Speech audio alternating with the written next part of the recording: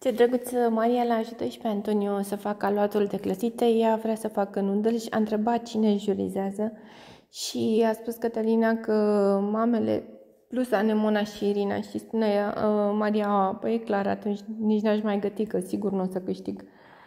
Și îi spunea Cătălina totuși să încerce, că poate nu-și dă seama și spunea Antonio, păi stai un pic pe cine a mai gătit uh, nudel și cum îi face Maria decât uh, Maria. E clar că o să-și dea seama de preparatul ei și că nu o să-l jurizeze cum trebuie. E, o să ne dăm și noi seama că ele nu au jurizat corect și cam aia e.